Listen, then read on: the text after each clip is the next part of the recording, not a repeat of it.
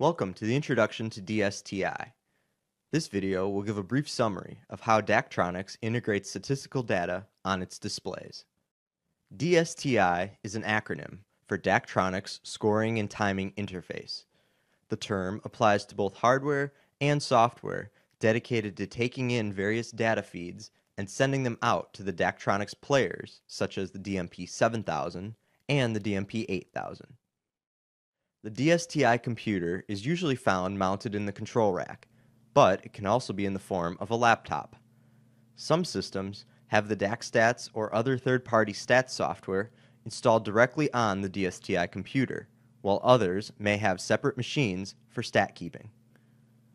The DSTI software should automatically launch when the computer is powered on, but if it doesn't, it can be found under Start, All Programs, Daktronics, DSTI.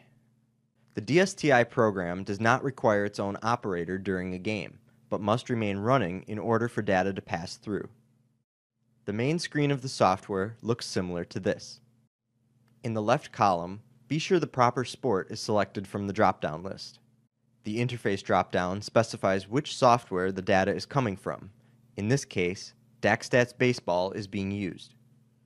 To monitor the data coming out of DSTI, click the View Data button. The output for baseball will be filled with stats, while the output for football, hockey, basketball, and other sports will show basic game conditions including the clock and score. Individual ports can also be monitored by selecting View and choosing Monitor Ports. Choose the port or ports by clicking the checkboxes and click OK. Because of the nature of the software settings, changes should only be performed by a Daktronics technician or trainer. This concludes the introduction to DSTI. Continue to the next video for more information.